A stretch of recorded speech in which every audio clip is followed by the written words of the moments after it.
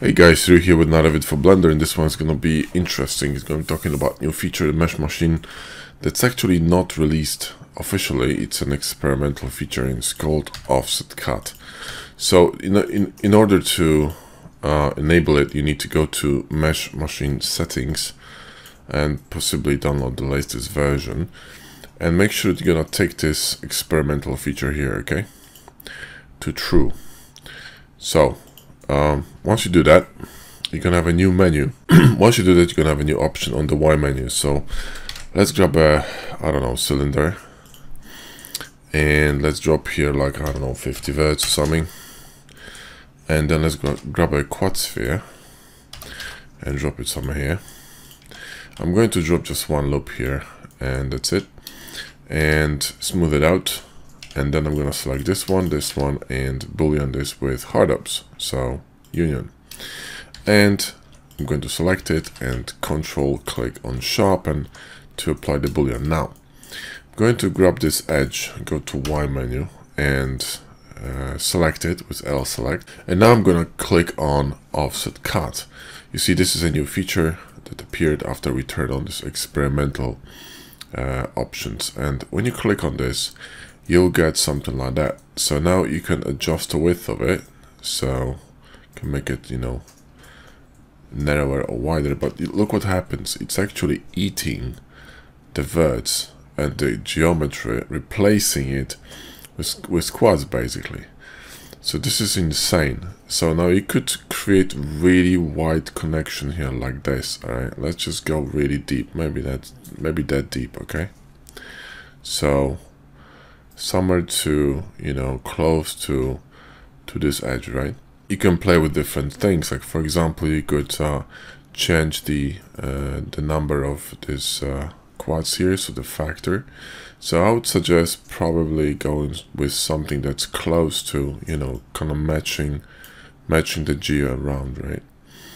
I wish there's also an option to rotate it because if you be cool if you could rotate it to uh, kind of match uh, this cylinder. But you know um, then you got other stuff like you know angle. But messing with this usually uh, kind of creates problems because it's like I said it's still experimental. So most of these thing, things I would just leave at default. Then you also got the uh, the same options for booleans fast and exact. I would stay on exact to be honest. It's usually uh, a bit more heavy on performance but more accurate so now let's let's just apply this, right? And let's grab this edge and simply bevel it with Control B.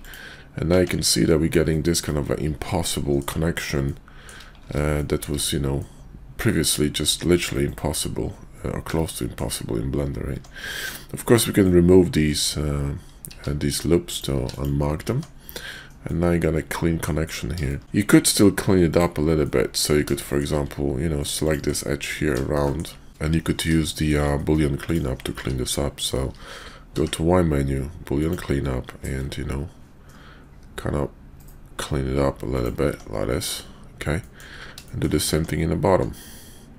Now in addition to all this of course you could do the normal transfer if you wanted to but we're gonna do something else you know we're gonna run sub d on this which is basically unthinkable before so why here boolean cleanup let's connect them right and then we're gonna press Control 1 and look at this. It's really clean.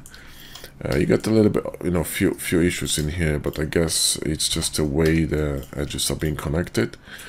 Uh, probably need to work a little bit on these, uh, you know, on the connection between the verts somewhere.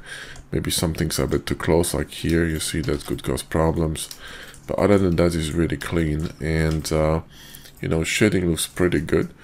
If we're gonna go to to a matcap, I'm gonna go with the uh, Mesh Machine matcap. Look at this shit, man.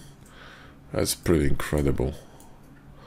So this is, you know, as close to NURB modeling as you can get, I think, in Blender. I think that's what it's heading. There's also a new tool being developed called, I think, Hyper Bevel, which is going to be um, basically slicing stuff uh, with bevels, like whichever way you want. So this one plus that, you know, this is gonna be some serious tool set for creating some incredible, uh, incredible geometry in Blender. Now look at this, this is fucking nuts. Alright guys, well, I hope you enjoyed the vid. Give us a like and sub if you did. and uh, if you meet some people telling you that you can't use subd on N-gons I'll just send them a link will you now you know it's not perfect of course you see some still some shading problems here but like I said we could just normal run the normal transfer um, with mesh machine or we could use the new patch tool uh, which is available uh, in mesh machine okay quick patch. Uh, but you know um, this is not the point of this video. The point of this video was to uh, create this kind of a transition and run a subd on it. Anyway guys thanks for watching. Hope you enjoyed it. Give us a like and sub if you did. And of course links to all the kind all kinds of add-ons in the video description. Thanks for watching. Catch you in the next one